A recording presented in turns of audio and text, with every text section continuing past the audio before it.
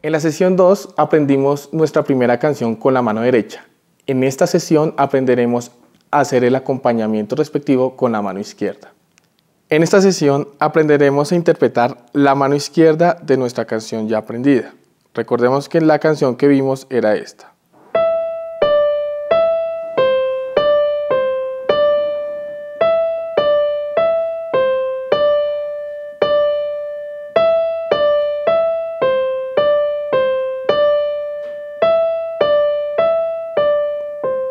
Para aprender a hacer el acompañamiento pondremos el dedo 5 de la mano izquierda en la tecla Do, el dedo 4 en la tecla Fa y el dedo 1 en la tecla Sol.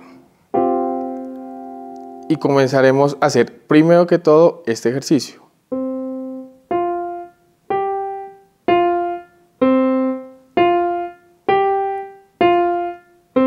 Una vez que ya tengamos afianzado esto, empezaremos a hacer el acompañamiento respectivo, que es el siguiente.